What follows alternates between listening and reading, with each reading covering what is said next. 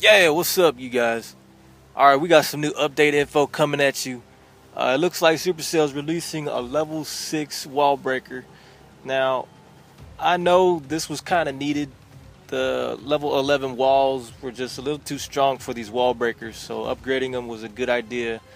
But, um, I don't know. Like, I like the wall breakers, but I figure, you know, with P.E.K.K.A.s and the King around level 30, they can kind of get through walls already.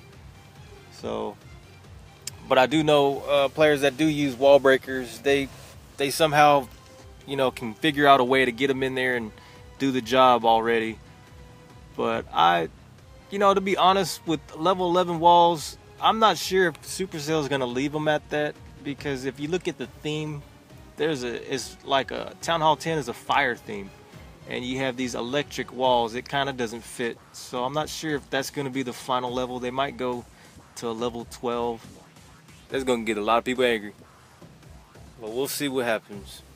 So yeah, we got these wall breakers coming out. I was like, wait a minute, you upgrade the the wall breaker. That means when he blows up, there's gonna be no trace left of him. He's just gonna disintegrate so strong. Cause you need that power for them level 11 walls, man. they're probably gonna, you know what they're gonna do? They're gonna make a wall breaker and like strap dynamite on them too carrying bombs and dynamite. So we'll see what happens with that.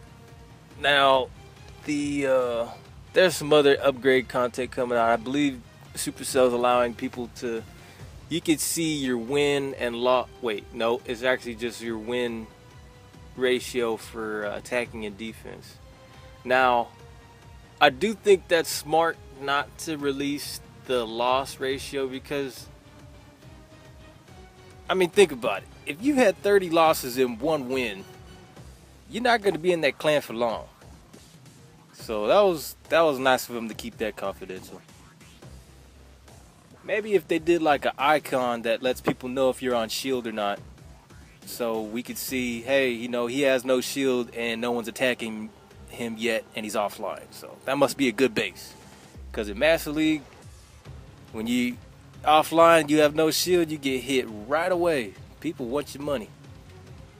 I wonder if it resets every week like the trophy or, or the donations do. We'll just have to find out. Um, so it looks like there's some more stuff people are talking about. They need to get a Goblin King in there. Yeah, that's what I want too. I tried asking them. They haven't responded. They said, I don't know. I think they should they should make it so that the Goblin King he carries a bag over his shoulder and just scoops up the gold with one hand. Give him some chains and glasses and a hat, and he'd be all right. Yeah. That's what I want. Give me the Goblin King or Prince, whatever you want. And we'll see what happens. There's gonna be so much great stuff coming with this new update. Maybe even Goblins level six. We'll have to see. I'm for sure. I'm thinking there's gonna be a Dark Troop. But if you guys want to comment down there, let me know what you think is gonna be in this new update.